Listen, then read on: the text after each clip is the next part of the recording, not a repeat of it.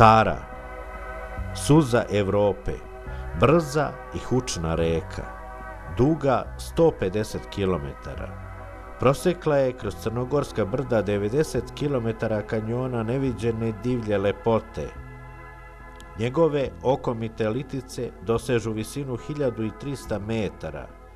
Ovaj predaj obrastao prašumskom vegetacijom, zrači uzvišenom surovošću, to je jedna od redkih oaza netaknute prirode i svojevrstan rezervat mnogih pa i endemskih biljaka i životinskih vrsta.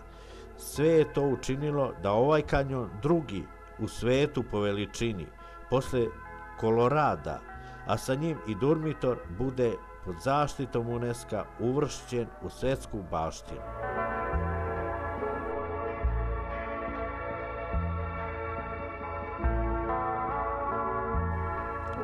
Pogled sa Ćurevca je veliki doživljaj, ne samo zbog prizora najdubljeg rečnog useka na kontinentu, već i zbog šarolike plastike kanjonskog proširenja i naselja Tepca, čiji zaravnjeni podovi dopiru sve do svetlo-zelene trake Tare, divovski kotao u kome se nalazi ovo drevno naselje, postojbina predaka Vojvode Živojna Mišića, hiljadu metara pod našim stajalištem, zauzima dostojno mesto u plejadi dormitorskih lepota.